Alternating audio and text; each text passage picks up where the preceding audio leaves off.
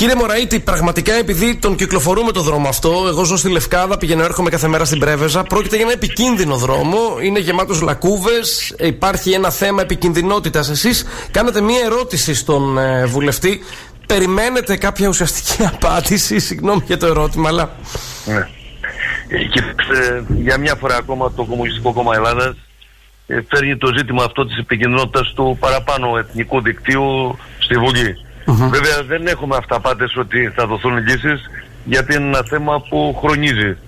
Ε, εξάλλου πριν 3-4 χρόνια ξανά είχαμε φέρει το ζήτημα, το συζητήσαμε πάλι, υπήρξαν μέχρι κινητοποίησεις των κατοίκων, πρέπει να σας πω έξω από το δημοτικό διαμέρισμα του Δήμου Ακτιοβόνησα στα Παλιάμπελα mm-hmm. υπήρχε μια στροφή που δυστυχώς άφησαν την τελευταία τους πνοή στην άσφαλτο δεκάδες άνθρωποι και εκεί οι κάτοικοι μετά από αγώνες κατάφεραν να γίνει ένα μικρό τμήμα. Επομένως ε, θεωρούμε ότι είναι μια παράδεκτη κατάσταση. Μιλάμε για ένα οδικό δίκτυο το οποίο είναι κατασκευασμένο πάνω από 60 χρόνια.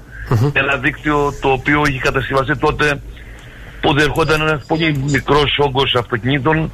Σήμερα όπως αναφέρομαι και στην ερώτηση συνδέει 7 νομούς με την Πελοπόννησο και τώρα ιδιαίτερα και με την Ιγνατία οδό προς τη Θεσσαλονίκη. Είναι ο νομός του Λοκρανίας, Λευκάδα, η Κέρκυρα, η Θεσπρωτεία, η Πρέβιζα, η Άρτα, τα Γιάννενα. Περνάει και ένα μεγάλο τμήμα προς τα Βαλκάνια. Επομένως δεν μπορεί αυτό το οδικό δίκτυο το οποίο έγινε με άλλες προδιαγραφές να δεχθεί αυτό το τεράστιο όγκο των αυτοκινήτων. Και επίσης πρέπει να πούμε ότι σε κανένα του σημείο ε, δεν έχει διαχωριστικό διάζωμα. Δεν υπάρχει υπαρκής ποτισμός σχεδόν πουθενά. Έχουμε στροφές οι οποίες και εσείς που περνάτε από εκεί βλέπετε ότι έχουν ανάποδη κλίση που με την πρώτη ψυχάλα γίνονται σφαγείο πραγματικό στις ουλίτρες. Επομένως ε, ανα πάσα στιγμή είναι ο κίνδυνος να θρυνήσουμε και νέους ανθρώπους πράγμα που έγινε πριν λίγες μέρες έξω από το άκτιο. Κύριε Μωράητη, δεν είναι μόνο αυτό. Είναι ότι υπάρχουν και κάποιες λακκούβες όπου όταν βρέχει γεμίζουν και μπορεί να πέσει το αυτοκίνητο και να πάθεις λάστιχο να καταστραφεί και βεβαίως πηγαίνουν και τις μπαζώνουν. Ρίχνουν εκεί πέρα τώρα λίγη άσφαλτο. Τι να κάνει τώρα αυτό το πράγμα, δεν είναι λύση. Να ρωτήσω κάτι. Δεν, μετά από αυτές τις πιέσεις και τις ερωτήσεις που κάνετε, δεν υδρώνει το αυτή κανενός; Δηλαδή, το κράτος δεν έχει να δώσει ένα συγκεκριμένο κονδύλι για την αποκατάσταση αυτού του, του, του, του δρόμου Καρμανιόλα; Δυστυχώς ε, το κράτος ε, και σήμερα και χθες βέβαια αλλά πολύ περισσότερο σήμερα έχει παραδώσει την ασφάλεια, τη λειτουργία των οδικών δικτύων στους ιδιώτες. Πράγμα που μπορεί, μπορεί να μην συμβαίνει αυτή τη στιγμή εδώ στην περιοχή μας. Συμβαίνει πανελλαδικά άλλωστε δεν είναι ο μόνος δρόμος και ο δρόμος που οδηγεί από το Αντίριο και μέχρι την Κόρινθο μιλάμε για έναν δρόμο ο οποίος εδώ και 7-8 χρόνια βρίσκεται σε μια άσχημη κατάσταση. Ε, έχουν δοθεί σε ιδιώτες και η κατασκευή αλλά πάρα πολλά και η συντήρηση και εδώ είναι αυτό το οποίο εμείς θεωρούμε απαράδεκτο είναι ότι ο κόσμος στα λαϊκά στρώματα πληρώνουν μία και δύο φορές τους δρόμους, τους πληρώνουν στην κατασκευή, τους πληρώνουν με τα διόδια μετά στη λειτουργία. Επομένως ε, θεωρούμε ότι είναι απαράδεκτη αυτή η κατάσταση, ότι έπρεπε να συντηρηθούν αυτά τα δίκτυα.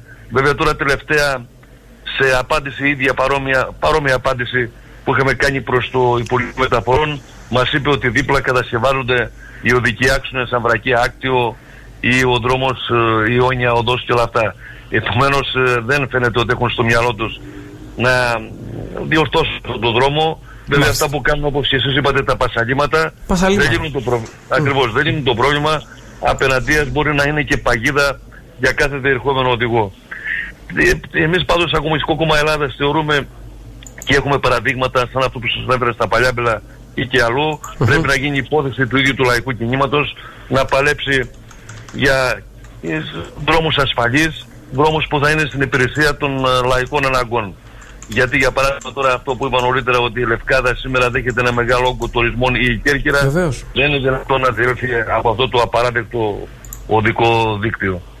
Έχετε απόλυτο δίκιο. Και μάλιστα, συγκεκριμένα, δεν ξέρω αν θα έχετε ενημερωθεί ότι ανάμεσα στους χειρότερους δρόμους του κόσμου, το γενικεύω λίγο, είναι και ένας στην ε, ε, Ελλάδα, τη διαδρομή Πατιόπουλο-Περδικάνη, όπου είναι, ε, έχουμε την πρωτιά και εκεί. Όπως καταλαβαίνετε, είναι στην Ετωλοκαρνανία, είναι στην περιφέρειά σας, αν δεν κάνω λάθος. Ακριβώς είναι στην Ετωλοκαρνανία. Κοιτάξτε το δίκτυο παντού σε όλη τη χώρα, αλλά ιδιαίτερα σε κάποιους νομού όπως είναι η Ετωλοκαρνανία, η Ευρυτανία και η Λευκάδα ακόμα, η Ορεινή Λευκάδα, επειδή Βεβαίως. το γνωρίζω καλά και αυτό το δίκτυο είναι ένα δίκτυο το οποίο πραγματικά δεν ανταποκρίνονται στο παραμικρό στις σημερινές ε, ανάγκες. Εμείς ε, θεωρούμε ότι οι πάλι του λαού μας πρέπει να είναι στην κατεύθυνση ότι πρέπει να υπάρχει κεντρικός σχεδιασμός για τις συγκοινωνίες ε, και πρέπει να δοθεί και βάρος ε, αυτό το οποίο δεν έχει γίνει μέχρι σήμερα γιατί δεν υπάρχει αυτή η προτεραιότητα ε, πρέπει να δοθεί βάρος και στις συνδρομικές γραμμές. Για φανταστείτε σήμερα η Τροκαρανία ε, άλλοι νομίδων να συνδέονταν με σιδηρόδρομους πόσο θα είχαμε αποφύγει και το τα δίκτυα και, και όλα αυτά. Επομένως, Ποιοι δεν ήθελαν ακόμα... τους σιδηρόδρομους όμως, ε, κύριε Βουλευτά, όλα αυτά τα χρόνια; Ποιοι δεν ήθελαν να αναπτυχθεί και ο σιδηρόδρομος στη χώρα αυτή και μας έχουν βάλει να πληρώνουμε τα διόδια. Που όπου πλέον σε αυτή τη χώρα για να κυκλοφορήσεις πρέπει να έχεις ένα γεμάτο πορτοφόλι, δυστυχώς. Δυστυχώς. Έτσι είναι. Έτσι είναι. Δεν ήθελαν αυτοί που είχαν συμφέρον να ξεζουμίζουν το λαό μας από τα διόδια. Γιατί πρέπει να το γνωρίζετε και το λέω στην εκπομπή σας, γιατί να είμαι συγγητή σε αυτό το νομοσχέδιο πριν λίγες εβδομάδες. Μπορώ να πω, δεν είναι τρεις μήνες, δυόμισι μήνες περίπου, ότι φέρανε στη Βουλή για αναθεώρηση τη συμφωνία του 2008 που έγινε για τους οδικούς άξονες της χώρας και εκεί πρέπει να σας πω ότι παραχώρησαν τα διόδια στους μεγάλους κατασκευαστικούς ομίλους για τα επόμενα 30 χρόνια. Επομένως όλοι αυτοί δεν ήθελαν να γίνουν οι σιδηρόδρομοι ε, το, τα οποία επηρετούσαν τις λαϊκές ανάγκες γιατί όπως καταλαβαίνετε προτεύει το κέρδος και όχι ε, οι ανάγκες του λαού μας. Εξάλλου είδατε ότι αυτή η κατάσταση και στην γέφυρα του Ρίου που πραγματικά είναι ένα σημαντικό εγώ δεν ε, πέρασε συνδρομική γραμμή. Γιατί η, Θα σας το ρώταγα τώρα, στο μυαλό μου ήσασταν ε, κύριε Μωρέτη, είναι γιατί, γιατί γιατί ακριβώς αυτό που σας είπα ε, σήμερα ε, πολύ περισσότερο από χθες. Τα οδικά δίκτυα είναι παραδομένα στους μεγάλους κατασκευαστικούς ομίλους. Και όπως είπα αυτή η περίπτωση των διοδίων είναι μια τρανταχτή περίπτωση. Εξάλλου αν ε, το δούμε σε βάθος οι μεγάλοι κατασκευαστικοί όμιλοι ε, στην ουσία δεν πληρώνουν ευρώ. Άμα δείτε η παραχώρηση που γίνεται και από μεριάς κοντιλίων της Ευρωπαϊκής Ένωσης και από χρήματα του κρατικού προπλογισμού στην ουσία πληρώνουν μικρό ποσό. Για παράδειγμα η γαλλική κατασκευάστρια εταιρεία στη ζέψη ε, του Ρίου Αντίριου ε, το ποσό που πλήρωσε στην συνολική δαπάνη δεν ξεπερνούσε το 30% το, της κατασκευής. Το επόμενο πει από χρήματα του ελληνικού λαού και, και των λαών της Ευρώπης κατά επέκταση. Ε, και σήμερα βλέπετε για 35 χρόνια εκμεταλλεύονται αυτή τη γέφυρα που δεν μπορεί να περάσει κανείς.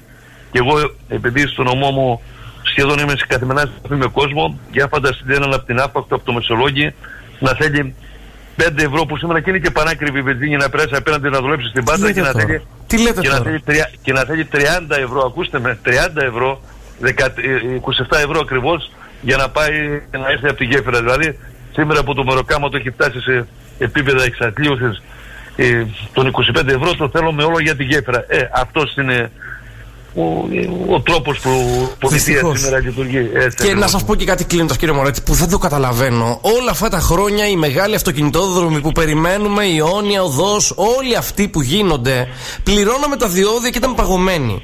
Μαζεύτηκαν κάποια δις. Έτσι δεν είναι; Πού έχουν πάει αυτά τα χρήματα; Δηλαδή, πού έχουν πάει αυτά τα χρήματα που πληρώναμε στο Ρίο Αντίριο σε αυτούς τους δρόμους που πηγαίναμε με 50 γιατί δεν μπορούσες να τρέξεις. Υποτίθεται ναι. ευρωπαϊκό προδιαγραμμένο. Πού έχουν πάει όλα αυτά τα χρήματα; Κοιτάξτε, όσο δίνουμε χρήματα στο μεγάλο κεφάλαιο, του ανοίγει η όρεξη και θέλει όλο και περισσότερα.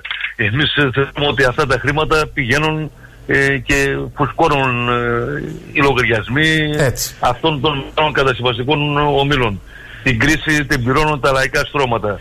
για να βγουν αλόβητοι όλοι αυτοί. Και δεν είναι μόνο αυτό, γιατί πρέπει να δούμε ε, και σε βάθος αυτές τις υποθέσεις ε, γιατί πριν λίγο καιρό είχα συνάντηση με τους εργαζόμενους στον οδικό άξονα ε, Ανδρακή Μιλάμε για τσάκισμα, για σάρωμα των ο, μεροκάματων.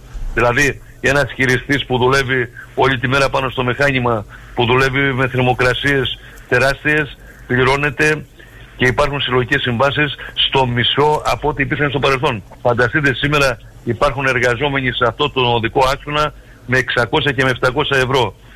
Ε, που πριν λίγα χρόνια αυτά τα μεροκάματα ήταν γιατί είναι πραγματικά μεροκάματα με τεράστια χειρονακτική εργασία που σήμερα πραγματικά έχουν σταρωθεί. Και αυτή τη στιγμή που μιλάμε και να κλείσουμε με αυτό, ήδη στη Βουλή ετοιμάζουν και τα τελευταία ε, αποκούμπια που υπήρχαν σε ό,τι αφορά τα εργασιακά δικαιώματα. Ετοιμάζουν ομαδικές αποκήσεις, ετοιμάζουν τσάκισμα κυριολεκτικά των μισθών, σάρωμα κάθε εργασιακού και εργατικού δικαιώματος που κερδίθηκε μετά από αγώνες δεκαετιών. Δηλαδή ε, προετοιμάζουν όλο και περισσότερο φθηνό εργατικό δυναμικό για το μεγάλο κεφάλαιο για να μπορούν να βγαταίνουν αυτή τα, τα κέρδη τους και να υποφέρουν οι εργαζόμενοι τα λαϊκά στρώματα.